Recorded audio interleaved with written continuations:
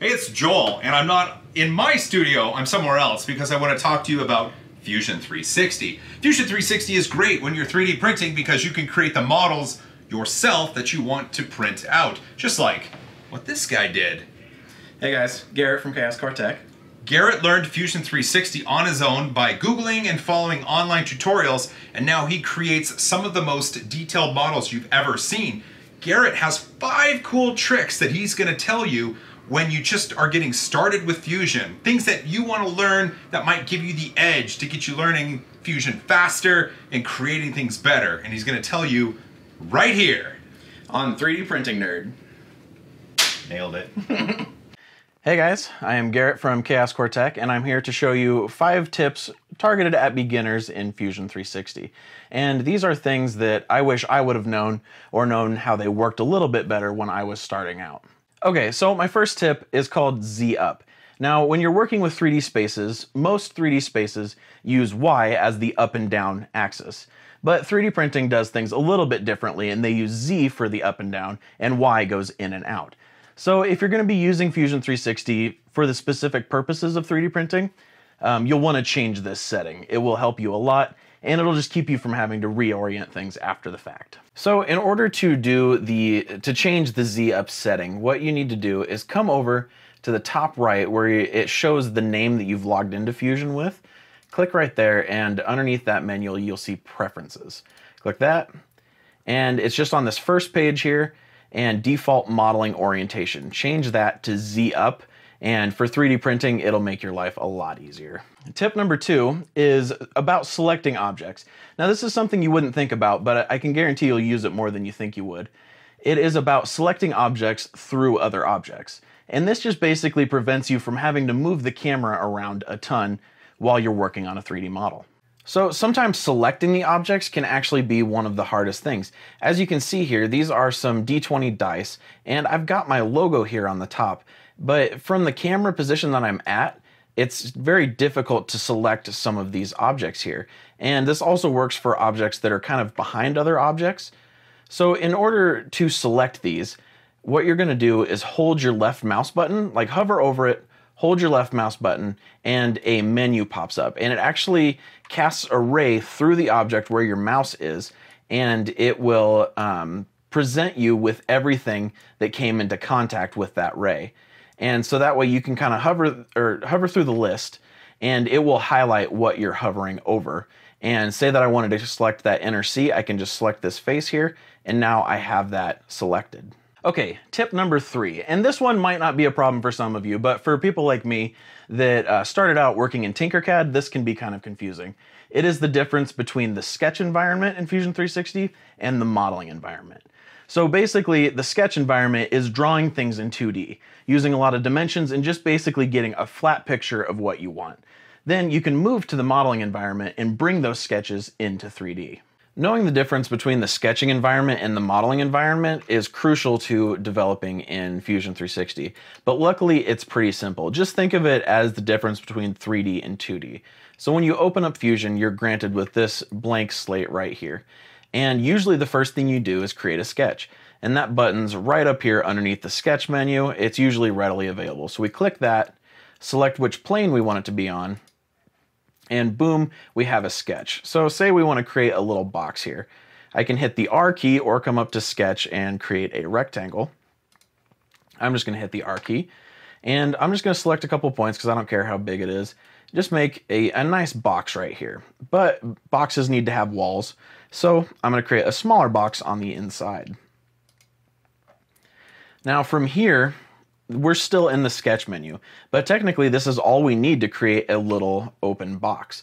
So in order to exit out back into the 3D workspace, I just have to come over here to the right and click Stop Sketch. The button is also up here on the top menu in case you prefer to use that one. So I'll click Stop Sketch, and as you can see, over on the left, we are back in the modeling environment.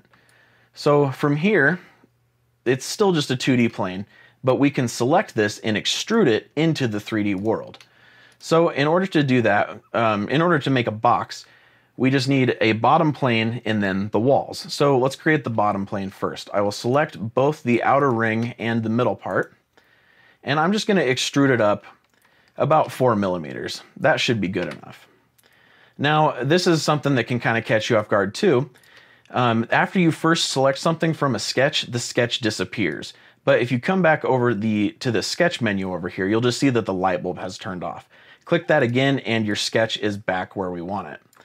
Now this is where the selecting through objects comes in handy because now we can just select this, the sketch, um, the outer ring on the sketch, but we'll select it through this object by left clicking, holding, and we can go to this profile. Now we can extrude this up and make sure that we're set to join instead of cut. Hit OK, and boom, we have a little box. It's as easy as that. And just, just to recap, we draw the two different sections of this box in 2D, change to the 3D environment, and extrude it up into the 3D world. Okay, tip number four. It's a little more advanced, but you may need to use this when you're first starting out.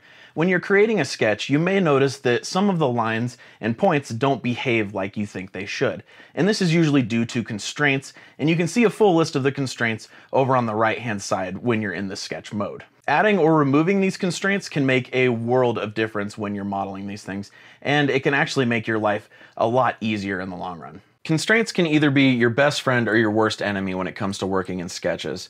Um, so it's good to kind of know what what they're doing for you and where they're kind of maybe causing behavior that you wouldn't expect.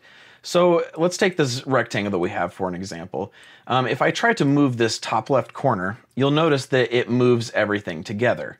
Like both lines come with you when you move it. And that may be what you want, but if you don't, you can click on it and you can see this little um, icon appears next to it. If I click that and delete it, these two are no longer welded together. I can move them separately.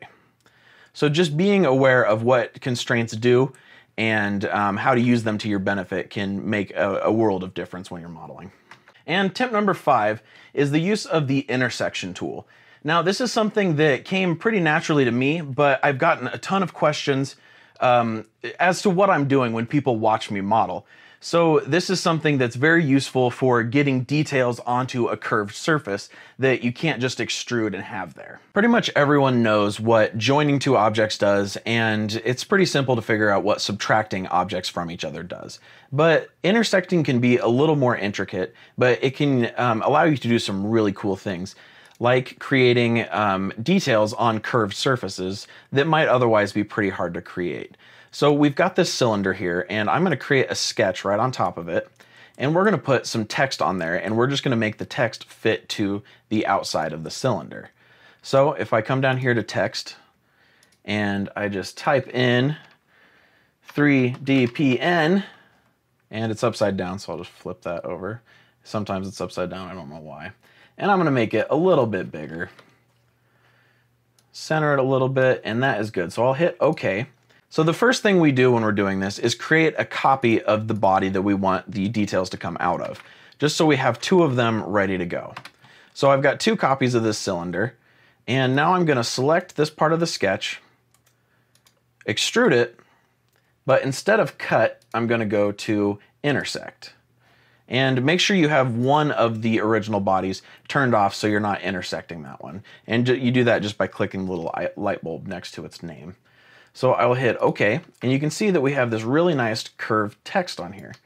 And I can bring back the original body that we hid now. And if we move the, um, the intersected body out just a little bit, you'll see that the text is starting to protrude from the cylinder, but it follows the curve of the cylinder very nicely. Wait, wait, Joel, come back.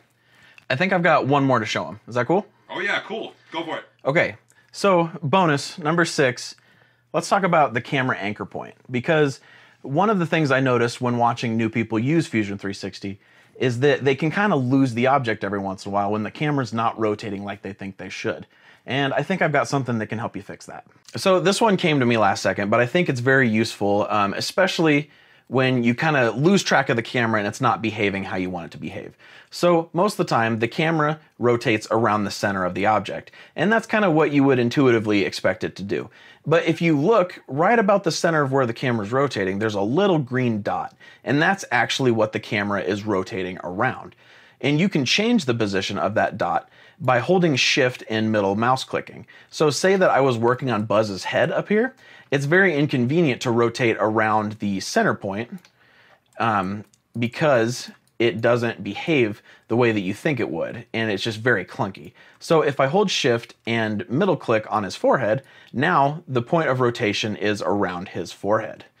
And then once we're back out, we can just shift middle click on his pelvis and we've got it back in the center. So that is a super useful tip that I have uh, found a ton of use for when modeling in here. And that would have been good to know when you were first starting out. For sure, definitely, because I there was several times that I just got completely lost with the model, and I, I there was actually a few times that I closed Fusion and had to reopen it just to reset that center point because I didn't know. Because I got I got it lost like off off in space over here, and the model was just going crazy.